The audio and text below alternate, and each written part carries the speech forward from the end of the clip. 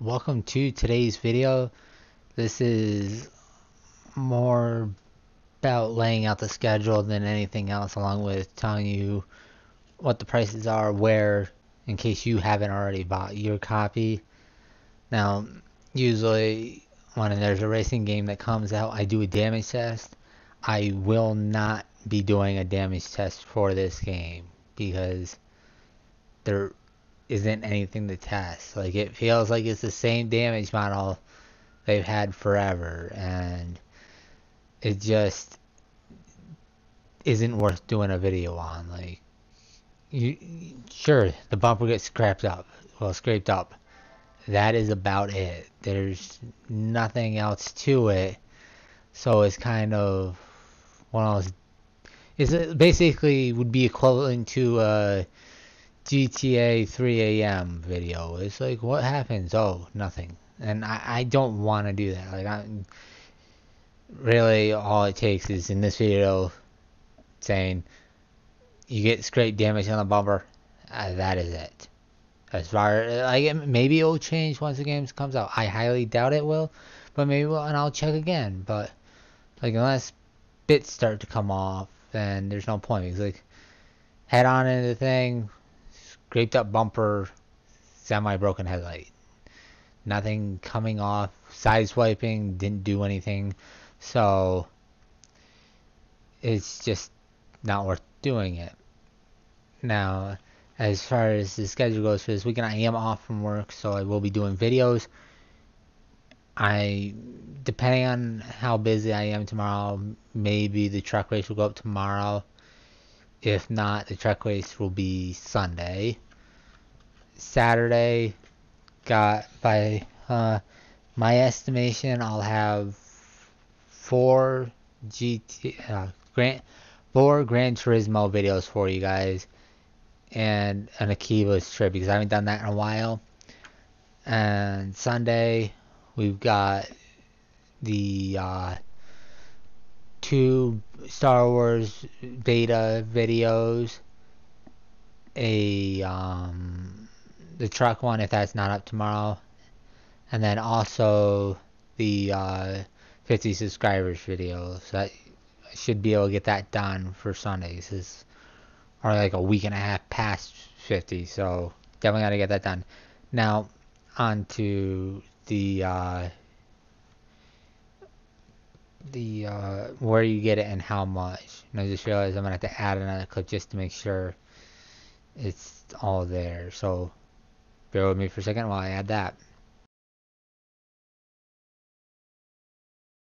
Uh, there, that's taken care of. I just didn't want to like rush and try to slam out this information and basically tell you nothing.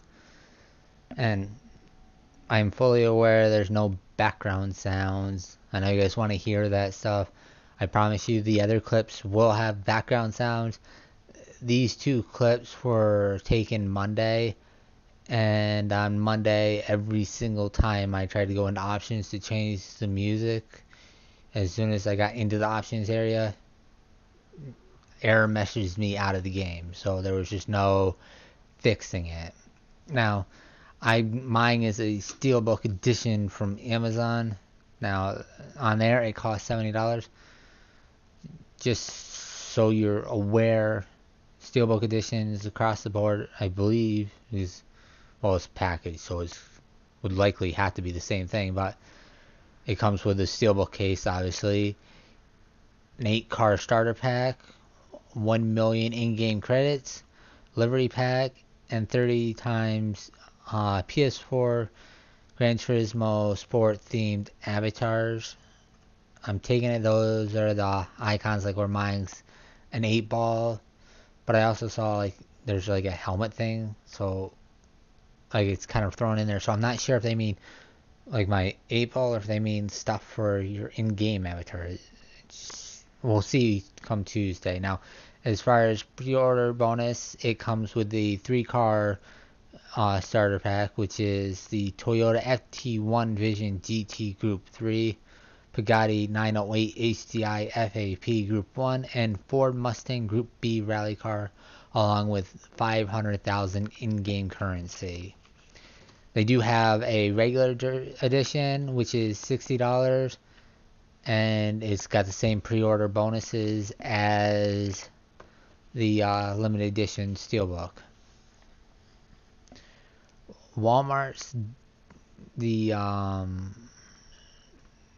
same price for the regular version, but I didn't see any pre-order bonuses listed anywhere.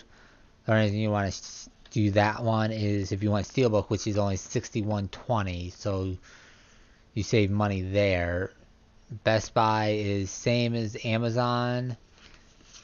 The um, PS4 store has a deluxe edition for $80, which comes with 12 card starter pack, 2 million credits, sticker pack, racing helmet, 60 PS4 Gran Turismo sport themed avatars, and the three car pack along with dynamic themes.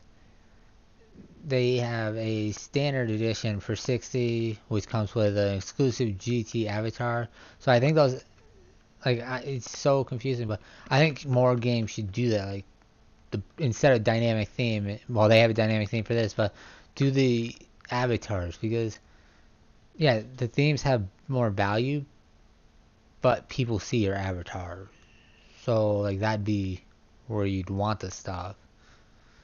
And the standard also comes with a three car pack plus 500,000 in-game credit. Now we go to GameStop and its um, edition, uh, limited edition is $70, three card pack, plus the Chevy Corvette C7 Group 3 and Nissan GTR Nismo N24 Schulze Motorsports, and the uh, Gran Turismo Sport Standard is sixty dollars with the same stuff. Now I don't quite get how they're getting the Corvette C7 Group Three.